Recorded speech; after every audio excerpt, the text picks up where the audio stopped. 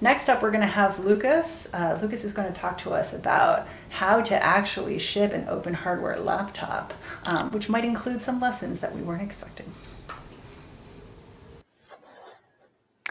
Okay, hi everyone. Let's see if this uh, um, works. Can you see my um, slide? Yeah. Okay, perfect. yeah, I'm uh, Lukas Hartmann, uh, the founder of MNT Research in Berlin. We designed and shipped an open hardware laptop with a tiny team and an initial budget of 150,000 euro around. Um, in this talk, I'm trying to extract some key lessons from the whole undertaking, some unusual practices um, that work for us and that might be helpful for your own projects. Um, the first lesson is make reproducible hardware. Um, we funded and launched the MNT reform through crowd supply. This is the campaign page today.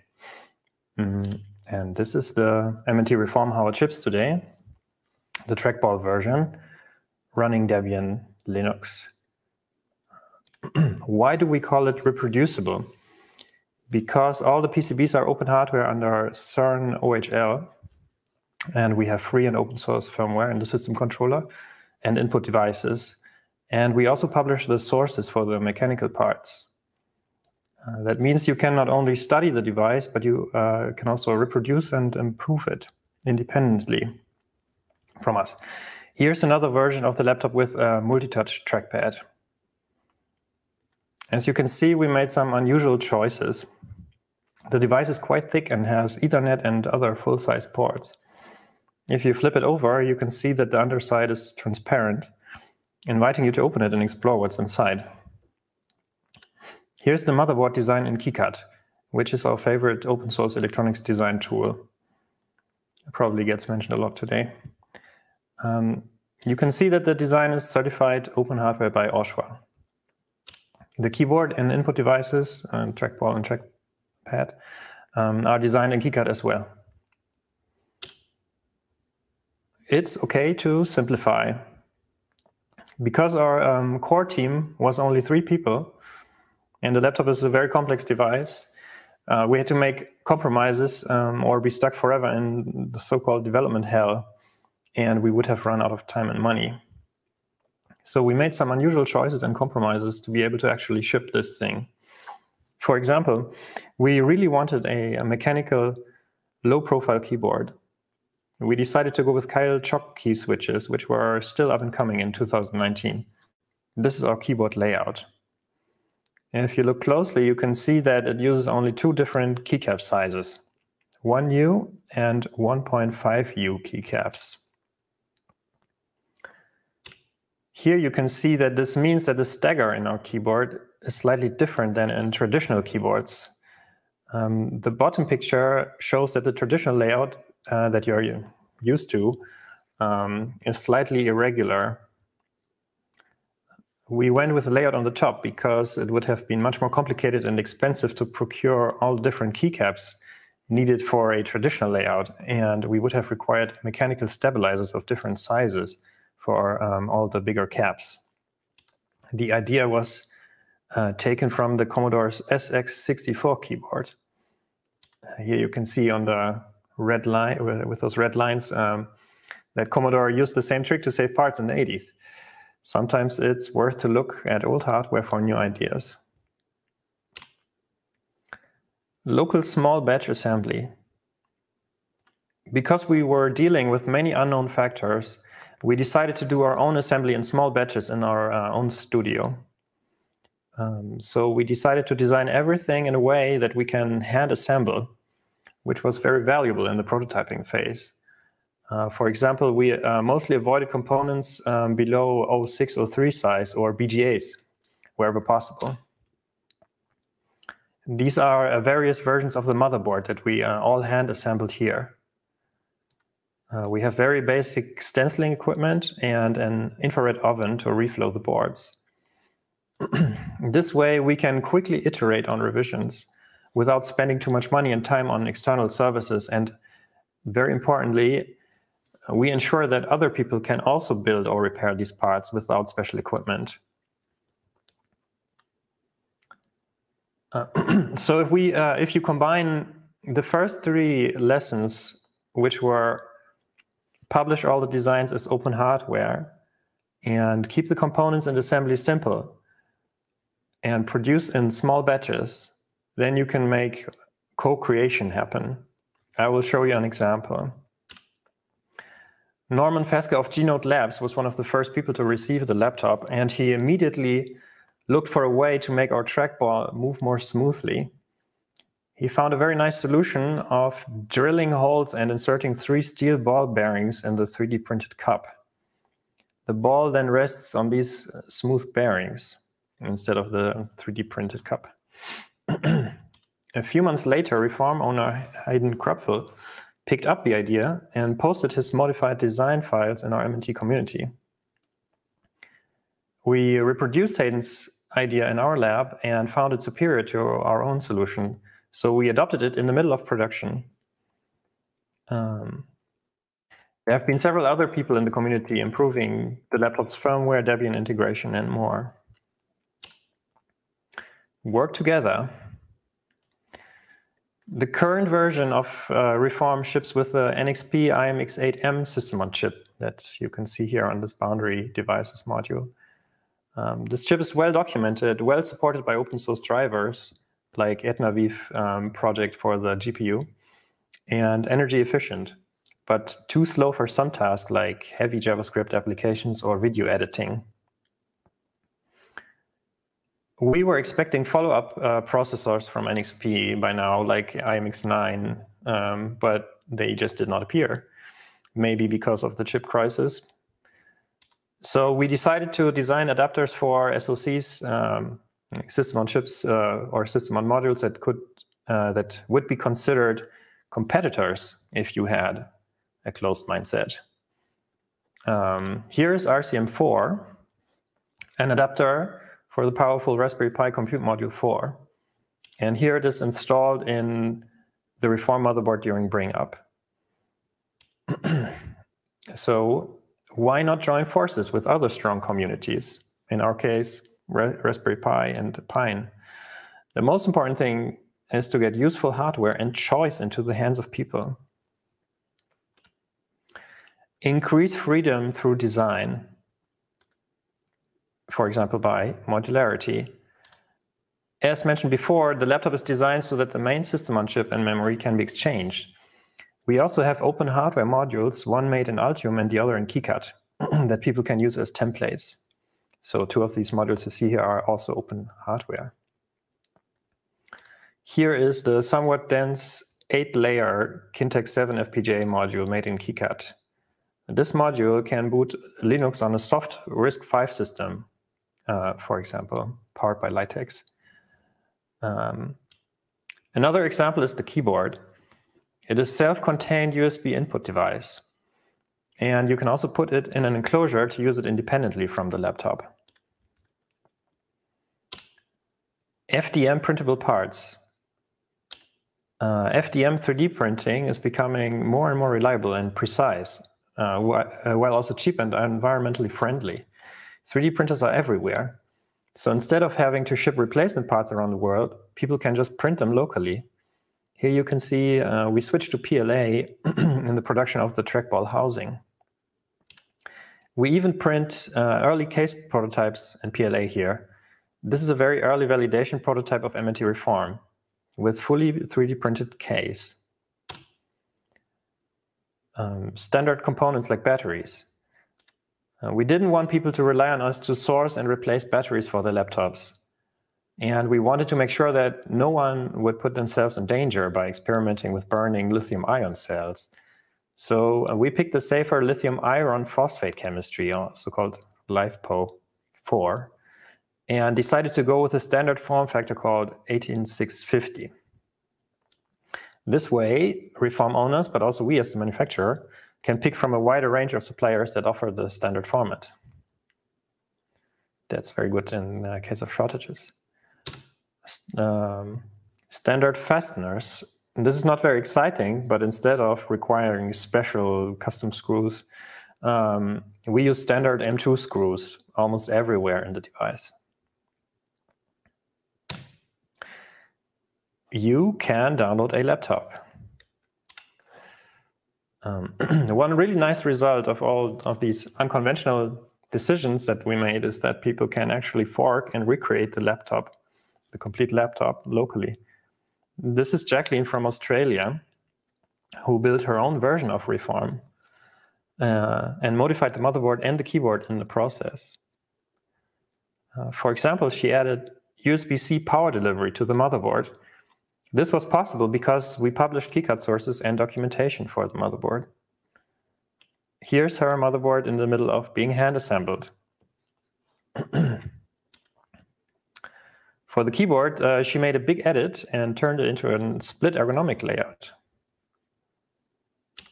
And this is a shot of her laptop in its aluminum case, which she was able to get made from our design files totally independently. So um, this laptop was completely made um, with uh, without our parts in Australia. Um, Creative Commons unbrand. One more little problem we solved is that uh, we didn't want people to use our brand logo on their clones and forks because we can only be legally responsible for products um, that we make ourselves. Um, see also like customs requirements or W uh. Um, but we still want people to be able to signify which ecosystem the item is compatible with. So we created this unbrand that is similar but different to the original. Um, this is released as public domain under CC0. Here is how it looks on a, a PCB. And to wrap it up, um, yeah, let me repeat uh, the, the, the points. So our takeaways are make reproducible hardware, like publish the source files for everything, not only PDFs with schematics. Uh, simplify wherever possible. Um, make compromises, it's fine. Um, if you make if you work locally and make small batches, you can improve the product while it's while you're still building um, the batches. Um, so you don't have to get everything perfect on the first try. Uh, embrace co-creation. That means um, work with your community to get changes merged back into your product while you're making it. Um, work together with your competition. Uh, maybe they're not the competition after all. Um, embrace modularity so that people can mix and match parts uh, and uh, reuse uh, parts of your product. Um, use standard components wherever possible. And if you want, create an unbrand that people can copy, but you are not legally responsible for. Um, and thanks, that's it. So I guess we have time for questions. Thank you. This was really great. People are so excited. They want everything. Um, I really like your choices. Um, they're really enthusiastic about the unbrand. Um, so they have uh, some questions for you, including um, what do you mean really when you say small batch? Is it like one, ten, a hundred, a thousand? What do you think is small batch for different mm-hmm. people? Okay, so yeah, it, it um, depends on the product. So if the product is, for example, one uh, large PCB or something, then a small batch um, is, we usually work in batches of 100. Um, but for the laptop, um, we work in batches like 50. Um, and uh, the whole the whole batch size, the, the first um, production batch size of Reform was 450 uh, units, but we split this in like sub batches of 50, for example, and we um, incorporated changes during these um, micro batches. Cool, cool, yeah. And I guess uh, there's so many things that can be batched also in your in your hardware. There are um, the little parts and then the whole laptop. So it's maybe batches all the way down. some, Absolutely. Some people have um, just questions about the details of being an unbrand. Is it like, uh, did you copyright the logo or like, did you put it in the public domain? How would other people go about making an unbrand? Okay, so um, the idea of the unbrand is that our main brand um, is copyrighted, like it's uh, trademarked, um, because we need to protect it uh, for legal uh, reasons. For example, uh, customs will check, uh, you know, what brands is on stuff, um, and uh, WEEE um, requires you to put your brand on stuff because you're responsible, like, for the safety of the thing, and so on and so on. And so we were like, okay, what if someone else uh, uh, makes a fork and, and resells, for example, the hardware? They need to change the logo, um, but it would be nice if they could still, if they wanted, refer back to um, the original thing and somehow um, si signal um, like uh, where, what it is compatible to, where it can kind of belong, what ecosystem. So we have this kind of alternative brand that is public domain, um, and that doesn't mean that we that is from us. That just means it's like kind of compatible on the spirit, or um, maybe uses like original designs from us. Yeah, yeah. I think a lot of people have um, questions about just like any uh, legal stories that come from having a public domain brand. And so maybe that's something that everybody will want to talk about in the Question Everything Discord channel. But we have other questions too. Um, some people are asking about like if there were design decisions that you started with that you then regretted, maybe because um, you wanted things to be hand assemblable, but then you changed your mind for th things. So can you talk about maybe how over the course of the project you changed things about the design and why? Um, well, um, the, we didn't change a lot about the electronics um, in uh, in the course of the project, but um, we made um, some manufacturing changes. So, for example, uh, we work with SLA printing in house um, on the trackball uh, because we thought we needed the precision of SLA for the trackball cup and uh, we printed our own trackball buttons and so on in house. But this turned out to be very messy and toxic, and um, so we outsourced the, the buttons uh, to another company who specialized in SLA printing, and uh, we changed the process of printing the trackball um, cup and the trackpad holder um, to FDM. So we are printing them still in house, but now on uh, like let's say safer and more environmentally friendly technology. Oh, cool. That's a cool way of changing. Yeah, in-house control can mean lots of in-house goo, I guess. mm-hmm. Yeah, yeah. So yeah, yeah, you need to you need to make sure that you can really handle that kind of stuff. you mentioned that you didn't change the electronics much, just things about the manufacturing. Um, and mm-hmm. people have questions about just like keeping track of changes across manufacturing different batches. Do you have like batch versions? Do you do a different kind of version control for batching when mm-hmm. you do different manu- manufacturing runs? Can you talk about that? Yeah, so at some point we introduced a so-called badge on the on all PCBs that always looks the same. Um, and it has like our SKU number and a revision number and a date code and so on, and um, and a license, the OHL um, license in it. So um, we update that, and um, so then you can also see in which kind of KiCad file does it correspond to. Cool. Um, in, in other yeah in other projects we also uh, made electronics changes because there were like just bugs in there, but um, and we will also do it in the next reform batches. We will fix some bugs. Nice. That's always nice. um, yeah, there's a there's a question also just specifically about electronics design. Um, I think it's maybe more about future feature requests for uh, KiCad, perhaps. Somebody wants to know, well, you know, you design modules in some proprietary software packages, but a lot of them also in KiCad. Is there anything that's missing from KiCad that you want to see? Is that why maybe you mm. use other packages like Altium? Okay, so um, here we only use KiCad, um, but uh, there's the um, LS1028A processor module um, designed by RBZ in Spain, and they only use Altium for everything. That was just a compromise um, of our collaboration. They agreed to publish it as open um, open source, uh, so you can download the Altium files. But um, if we would have done it ourselves, we would have done it in KiCad. But it's always like, you know, what people are trained in. So we'll have to ask them to see what features they want. Maybe the features that they yeah. want is just that they want to watch Chris Gammell's Getting to Blinky. well, Thank you so much for your talk. Lots of people are excited about um, your laptop and have even more questions for you in Discord. Um, you can follow up with them. It'd be awesome.